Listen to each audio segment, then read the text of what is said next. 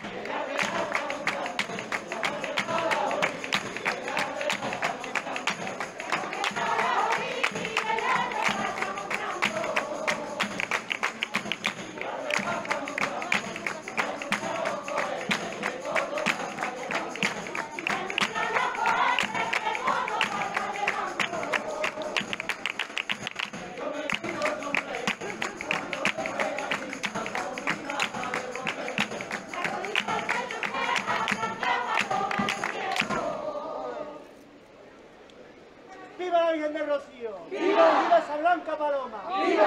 la reina de las marismas! ¡Viva! el pastorcito divino! ¡Viva! su hermandad de Córdoba! ¡Viva! el sin pecado de Córdoba! ¡Viva! la Virgen del Rocío! ¡Viva!